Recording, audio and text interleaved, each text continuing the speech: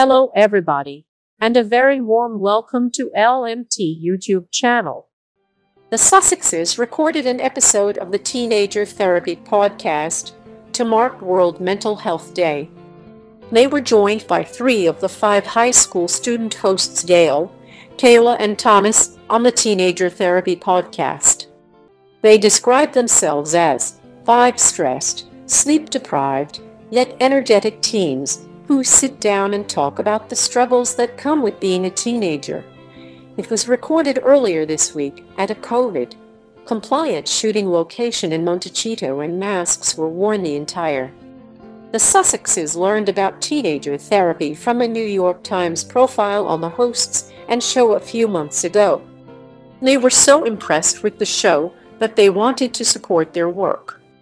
They spoke with the teens about removing the stigma around mental health issues and treatment while unpacking how we can all contribute to a healthier world, physically, mentally, emotionally, and holistically. Meghan has spoken about her love of meditation multiple times, including on her old lifestyle blog, The TIG.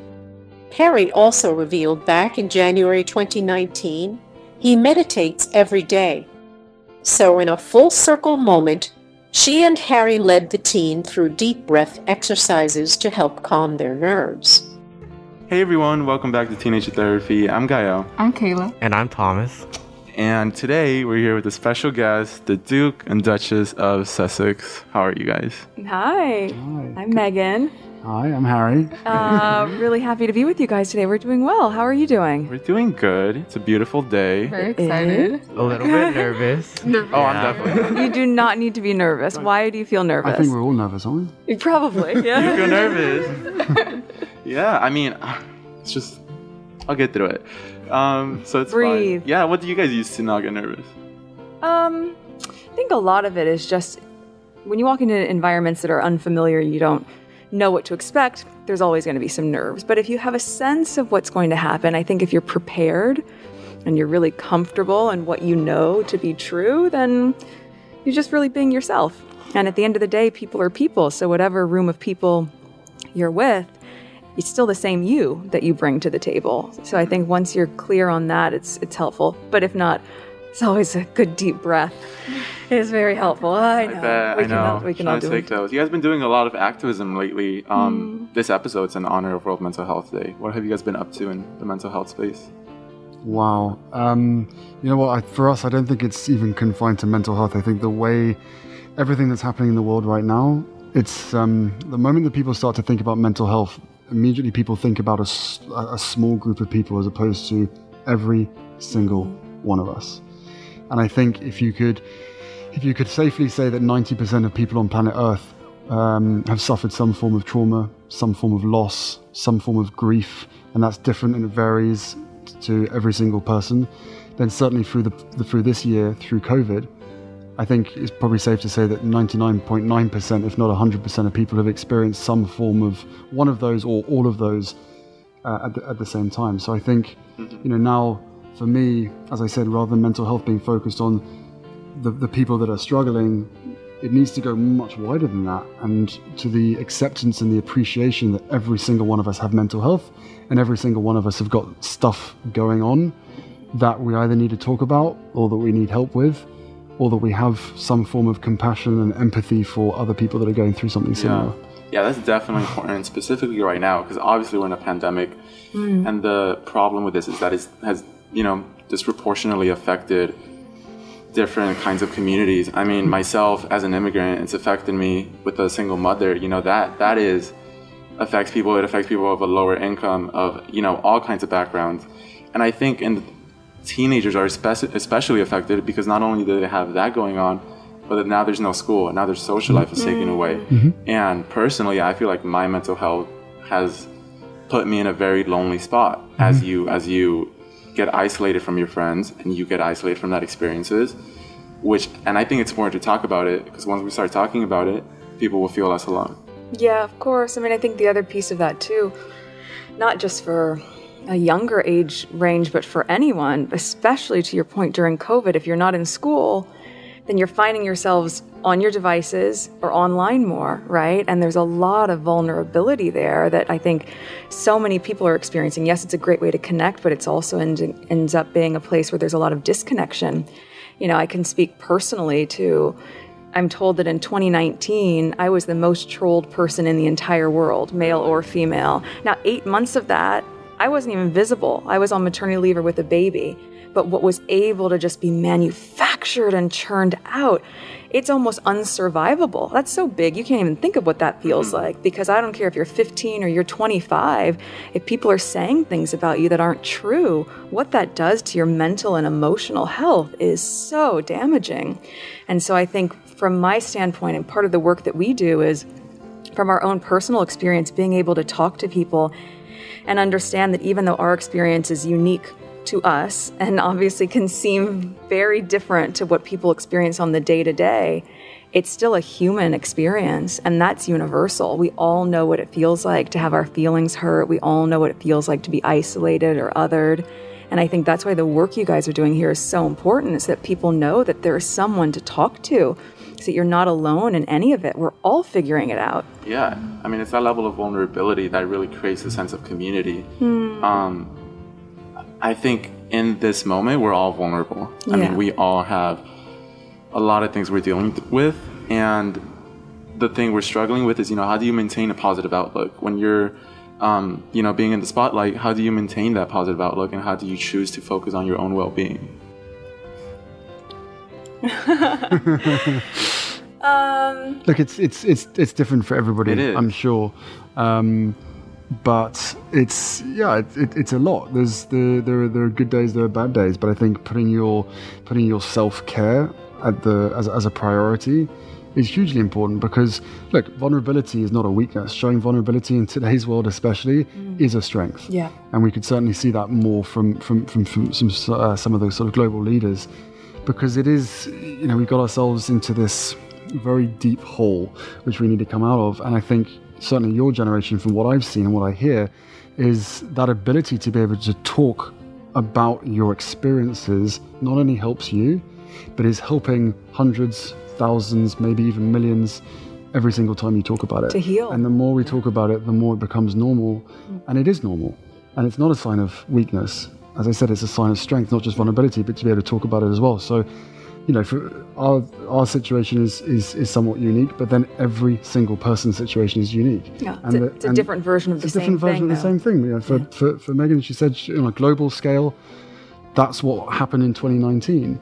But if you're if you're a young girl or a young boy at school and you're and you're that's your world. Mm. So if you're being attacked or what you being or bullied, or whatever, bullied, whatever is. is online. It may not be the whole world, but it, but it will feel like the whole world. Mm-hmm. You know, so, and and I think for us, it's like, so what are the tools, right? What are the things that you do to to try to feel anchored in who you are? How do you survive that? How do you get through things that are challenging in that way? I think the first is what you guys do. You have to talk about it, mm-hmm. right? The more you internalize it, the more challenge all of us face in terms of how can you ever recover from something that you're not willing to speak to then separate from that, I think is just you all you all find the certain things that work for us. For me, I think journaling is a really powerful thing.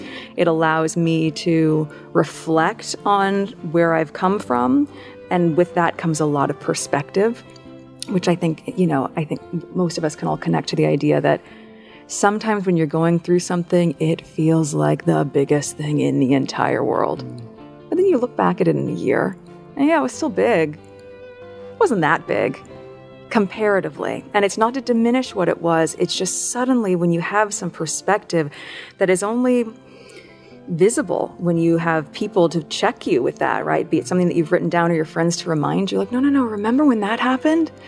I think that's really valuable so that everything doesn't become insurmountable, so that there's always a way to overcome something. But we also, we all, we all have choice, right? And I think it's very easy to be sucked in and consumed by negativity. But we all have the choice to be able to cut that out of our lives. Mm. You know, hate following has become a thing. You don't need to do that. Just as much as we worry about and concerned and take notice of what we put in our bellies as a diet, the same applies for, for our eyes and for our mind. What we're consuming is affecting us. Mm. Um, so, you know, I mean, for, for me, I make the choice not to read it, not to see it, and to remove myself from that, and to very much focus on the uplifting and the and the hopeful side, which most of it I get from your generation, well, which, is, which is even greater. But you know, for me, meditation, meditation is key. I never Yeah. thought I never thought I'd be the person to, to do that. Of course, the importance of just taking a moment and creating that time in your day to be able to mm. take a breath and actually just focus on the things that really matter. Um, He's the- very the dedicated to it, too. He's the very benefits good of at that it. are huge, and I think that builds up uh, a certain amount of resilience because the more the more stuff that you get hit with, the sort of the, the, the stronger you become. Hmm. But that doesn't mean that you have to go speak to suffer silently. You can actually talk about it. As I said, you know, for us in our position, it's important to talk about this stuff Yeah. um, especially if we're going to help somebody else go, okay, so it is okay. So you've given me permission to talk about it. It's like, yeah, Mm-hmm. And and you've done that specifically a lot. I know a few years back you talked about going to therapy and how talking about your feelings that you had bottled up helped you mm-hmm. immensely. And that was considered a big game changer in the UK. And I wonder if the reason us specifically as men feel that we're not allowed to talk about our feelings and the traits and the culture of toxic masculinity is like fooling us into believing that suppressing it is the way to go instead of openly showing it and that suppressing is bravery. Yeah. No, I can, I completely, uh, I completely see that. But um, as I said a minute ago, for for me, the sign of strength is is is talking about it. And anyone who says otherwise, in my mind, are probably some of those people that have got their own stuff that they need to work out. And I and what I what I've seen so much over the years is people hiding behind usernames, especially of course on the online space. There are things that are said digitally that nobody would say in person, of course. Um, but I think there's a lot of projection that happens as well.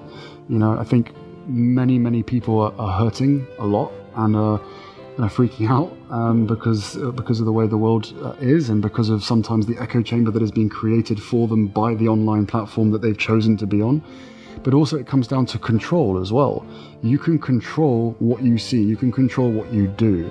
So whether it's notifications or whether it's vibration, ringtone, whatever it is, these things control you rather than taking control. So That's actually a really good thing that people often forget about. We're so conditioned to letting our user experience be defined by the platform or whatever is online, as opposed to take control of your life. You're intelligent people. So turn off the suggested or recommended. recommended content. How about you? What would happen if for a day everyone just went online to see exactly what they were looking for, hmm. as opposed to what they're being pushed in the direction of? Or if you weren't just mindlessly scrolling and then ending up down some rabbit hole that you weren't interested in, can we actually think about what we would do with all that extra time? And who we would be without someone creating our universe for us? Instead, saying, No, I was just coming on here looking for something really positive. I just wanted to see what my friends were up to. And to stay in that space, again, that's like taking the power back and taking control of our lives is a big part of it.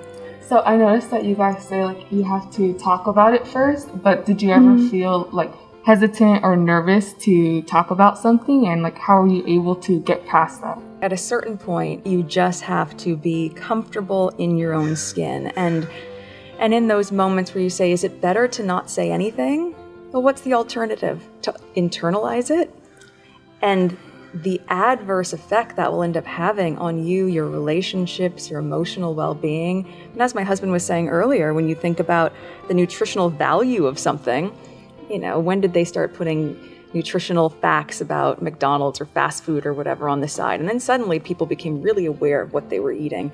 Can you imagine if there was a nutritional fact sheet on every website or thing that you went on and it said, This is actually really toxic for your health. If you keep eating this every day, it's going to cause this, this, this, and this. But that's what we're consuming. We're just digesting it in our minds, we're digesting it in our hearts. That has a really huge effect on us that no one is talking about. So, to answer your question, when you have that moment of doubt of whether you should speak up or speak out, again, if you sit in silence, I think that can be a lot worse for your health than people give it credit for. Yeah, and I mean, not just for your health, but speaking out about it is just combating the stigma just by doing that. And I Yeah. think there's a lot of talk, especially with activists, about remove the stigma. And we, everyone knows we should remove the stigma, but people don't necessarily are educated as to why. What is the harm in the stigma? And what I kind of figured out is that if we as a society approach stigma as in the same way we approach something like puberty and periods, that we have a class for it during school, they tell us what to expect, how we're going to mm-hmm. expect it, how we're going to deal with it, and that it's totally fine and normal. We all go through it. Yeah. You know, like when you get your first period, you go to your mom, you tell her, Mom, I got my period. She's like, Okay, let's go fix it. Let's go take care of it. You're good.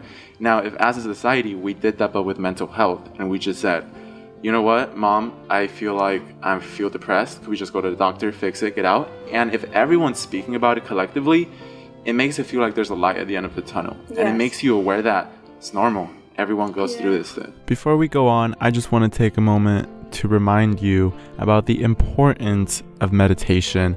I mean, there's a reason meditation is endorsed by some of the top mental health activists in the world. So download Headspace today, and for a free month, visit headspace.com slash code and use code PR Team Therapy, all one word, to get a free month of Headspace. That's headspace.com slash code and use code PR Team Therapy, all one word, to get a free month of Headspace. Now back to the episode. stigma thrives on silence, right? That's that's the whole point. But then second to that, I think it's really important for people to remember that you don't always have to go to the doctor, right? Mm-hmm. And I think if you let these, if if you the longer you stay quiet for, potentially the more they the, the more these these issues, these thoughts, these these ideas, whatever it is that whatever it is unique to yourself, that it snowballs. But it's you that. For a lot of people, it's very nerve wracking going to doctors. Yeah. as we know, especially around mental health, because a lot of them might not be able to tell you. They don't know what's going on. It's the it's, it's the invisibility part, that sort of the invisible injury, I guess, that that, that sort of um, can scare people. But it's your friends and complete strangers, right? There there are so many different forms of help out there that, again, for me, the most healthy, strongest, best people that I know are people who talk openly about their mental health. Not labeling it necessarily mental health, just being open, because that is the way you do it. And then once, you, and you see the effect that it has, this domino effect, that once one person talks about it, then within that group of friends and everybody else, and before you know it, you've got mates who you've known for 15 or 20 years, maybe less so for you guys, who suddenly start sharing things that that they've been longing to tell someone and they don't realize why they're telling you. They're telling you because they heard their friend share something about their life. So it's it's Just takes one simple question. it's that's Yeah. you know, but a but a genuine question mm-hmm. rather than this idea of how you doing, are you okay? Because it's all everyone. Cause everyone's we live in this sort of text world where we take one sentence and we sort of react to that as opposed to no, I'm actually asking you, how are you doing? How are you feeling? And now, and as of what the last four years, I guess, I check with my friends and I go back to them and say, no, no, no. When I say how are you, how are you? Hmm. Because everyone just goes, yeah, I'm fine. Anyway, and off they go. And it's like, no, I really genuinely want to check in on that. Just the word mental health is really hard for people to say hmm. without feeling like that has some negative connotation. Why don't we just call it health? Because what's happening in your head and your spirit and your body is all the same, it's all connected. And you would comfortably have a conversation about someone's health. So maybe we just expand that. Talk about your emotional health, talk about your holistic health, and that includes what's going on in your mind. Mm-hmm. The point is just talk about it. Yeah. Yeah, I mean that's the goal of the podcast that I realized like you just got to talk about it. Yeah. It fixes everything. And I mean Meghan, right now how are you? Like really, you know? Like, Thank you. are- both of you, really. How are you guys? Isn't that funny? It was about a year ago this time that someone asked me that. We were on a tour in uh, South Africa, and on the last day of the tour, man, I was tired. I was just about to give Archie a bath, and we were gonna. I was exhausted, and uh, we were heading She home. was still breastfeeding at the time. Oh. Oh exhausting. yeah, well yeah. So a lot of people don't, you know, know. Just that's like running a marathon. So between every official engagement, I was running back to make sure our, our son was fed, and um, yeah, it was that was it was a lot. But at the very end, the journalist asked me, "Well, are you okay?" And I didn't realize that my answer would receive such a an interest from around the world because I said, "Well, thanks. It's, you know, it's- people haven't really asked me if I'm okay." I didn't think about that answer. I just answered honestly because I was being I was in a moment of vulnerability because I was tired because there was no presentation. It was just here's where I am. I'm a mom who is with a four and a half month old baby and we are tired. Mm-hmm. But I think it speaks to the fact that the reason it resonated with people is because everyone wants to be asked if they're okay. And so I would say today I'm doing really well. All Thank right. you for asking. Have you been doing good the past few months? I know it's been tough, and you have a child. I'm, I'm sure like it's not easy being a mom, especially in the spotlight. For any moms right now, my God, for any moms, period, or dads, or single parents, but certainly in COVID, we have the we are fortunate. We have the luxury of blue skies and fresh air and green space. A lot of families. Victor, do you want me to hold for that that sound? I think it adds to it. It adds to the ambiance. Yeah, exactly. Like great.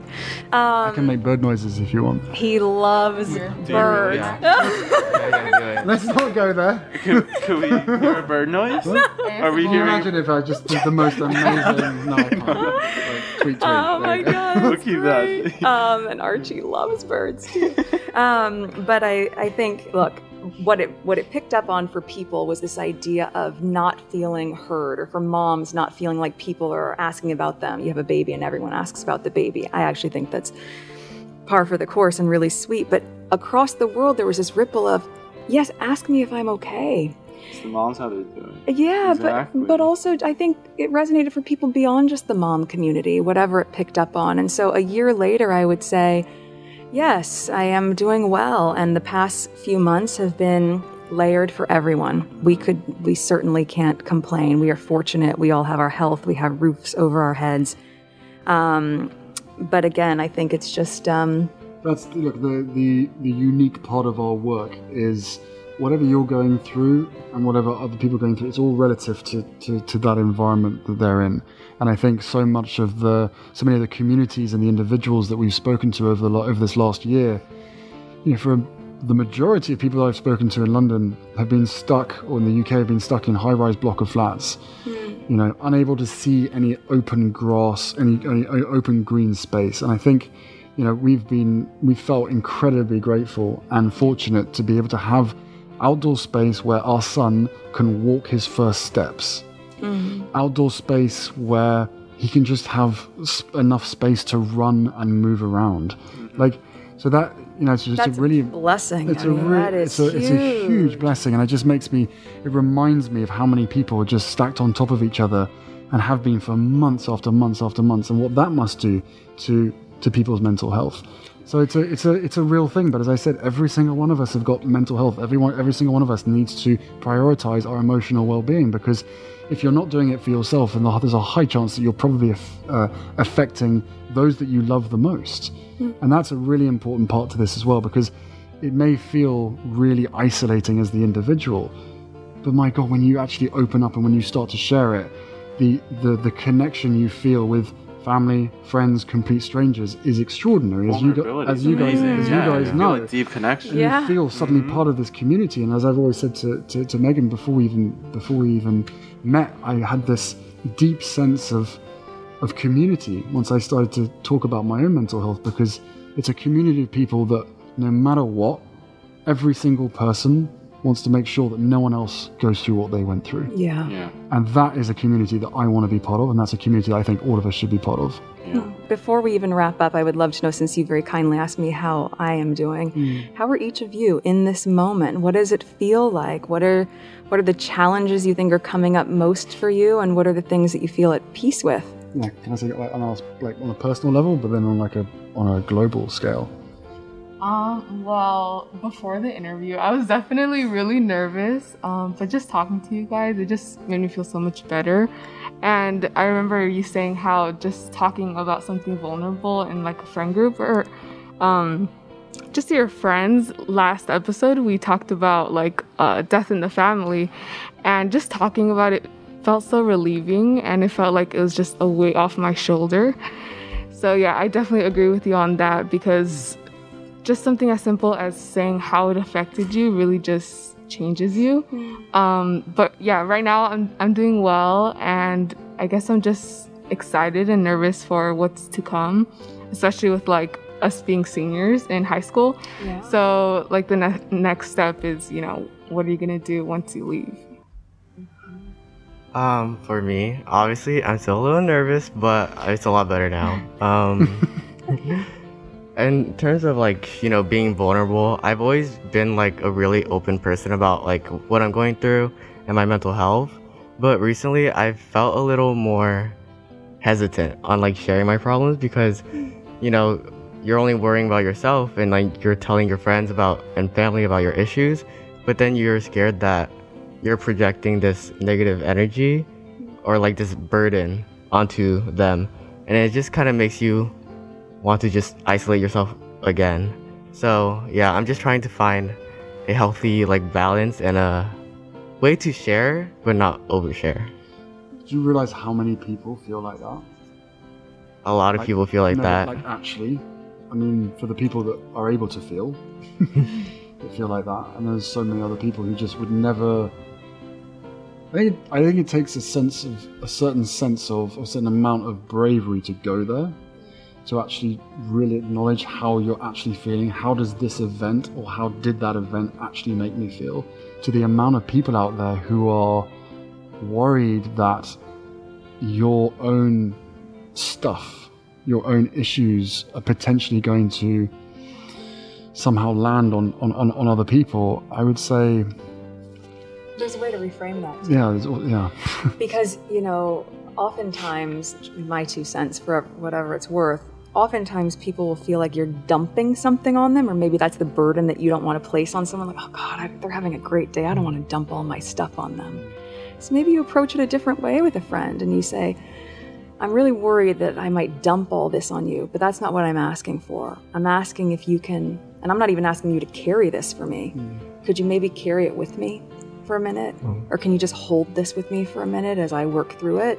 And that way, it's not putting the burden on anyone else, but it's the acknowledgement that, like, this is a lot of weight for me to carry by myself. And if you could just assist me in that in this one moment, I might be able to push through it. And then that way, it feels like a lot gentler and a way that you can ask for help that might not seem as as difficult for someone to take on. And that, that, is, that assisting is listening. Hmm. Like, again, people feel as though, oh, if you, you're coming to me with these issues, I'm going to have to have an answer. I'm going to have to have, I'm going to have to help Yeah. you. I don't know what I'm doing. I don't, I can't give you advice. I'm not a doctor. And it's like, no, actually, I'm, I'm not necessarily asking for a solution. I actually just want you to listen. In those moments, really, you have two options. You can either try to break through, or you could potentially break down. But use it as a moment to break through and to connect. I feel better for it. Yeah. Um, I guess going back to how we are. Thank you for asking. It really it does mean a lot because once you know one person shares something personal, look at mm-hmm. everything, the mm-hmm. conversation it starts. Um, personally, there's definitely a lot of happiness in my life right now, but with that happiness comes sometimes guilt. That do you deserve to be mm-hmm. happy? You know, if you made a mistake in your life, like mm. do you deserve to forgive yourself? Who gives the role of forgiveness? And I think I've dealt um, with that pretty heavily, like for a while. Is do I deserve this happiness? And who kind of, you know, when can I be unconditionally happy and not feel guilty if someone else is sad, if the world is sad? Can you be happy when the world is sad? Is basically what I deal with internally a lot. And how are you reconciling that? Not sure. Yeah. It's a process. It's a process. Um, trying to just find ways to pay back for that and learn about more about forgiveness and that it's important and it's important to talk about it with everyone and deal with your issues. So and that they're not mutually exclusive. That the, the things can be happening in the world and you're doing your part to make them better. And in that, you still deserve joy and you still deserve to be happy. Thank Meghan, you. Big H, Harry, thank you nice. for coming on, Thank you for um, having us. talking to us. You're gonna help so many people. No, well done, you guys. Keep this up. Like, don't ever stop. Just Thank you. Keep, just Keep like, talking about it. bulldozing it through. Every single time you do a podcast, I'm sure, as I said, like Yeah. thousands of young people just like, wow. And one, at the very minimum, one thing will resonate with them, hmm and and they will never have had it explained to, to them the way that they just heard it from you guys or from whoever you're speaking to. Yeah. And you've got to remember that. And maybe you maybe repeat the same stuff, but there will always be one thing that goes, wow, that and that's really relatable to And me. don't think that you know what it is. Yeah. Because oftentimes we'll go into it with an idea of like this. This might be the piece. This is the golden mm. nugget. Mm-mm. It'll always be the thing that is. Least expected. Yeah. Yeah. Amazing. Thank you guys. Thank you. Thank you so much. Thanks for Yeah. having us. Amazing. That's it. Yay! check out one of our newest videos right here, plus even more LMT videos about your favorite stuff. For coming soon, subscribe to our YouTube channel and hit the bell so you don't miss a single one. Stop.